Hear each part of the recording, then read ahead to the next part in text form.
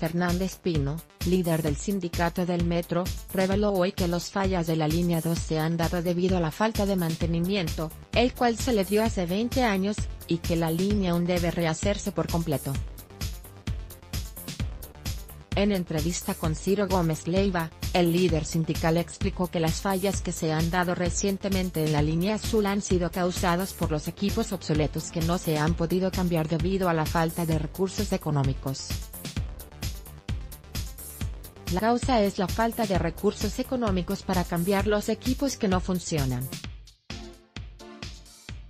Son equipos que tienen 48 años de haberse instalado, y ya son equipos obsoletos que ya terminaron sus años de vida. Te recomendamos, Pista de Hielo le dice adiós al Zócalo, ahora estará en el Monumento a la Revolución asimismo dio a conocer que la línea 1 necesita que se cambie todo el equipo pues es la que lleva más años de servicio.